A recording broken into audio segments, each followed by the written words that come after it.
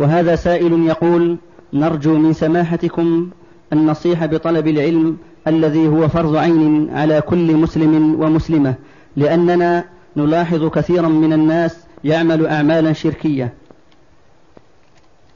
الواجب على المسلم أنه يتعلم أمور دينه التي لا يستقيم دينه إلا هذا فرض عين على كل مسلم. يتعلم العقيدة الصحيحة ويعرف ما يضادها وما يخل بها من الشرك الأكبر والأصغر.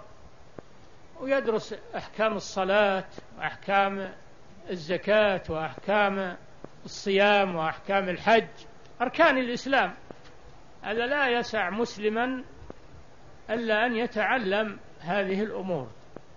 ولو على سبيل الاختصار.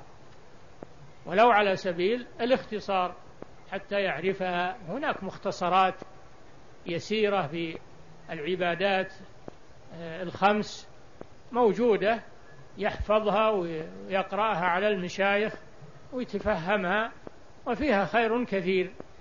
وإذا رأى من أحد أنه واقع في الشرك عليه أن يبين له وأن يدعوه إلى التوحيد ويبين له الشرك ولا يسكت ويتركه وهو يقدر على تعليمه وعلى دعوته إلى التوحيد نعم.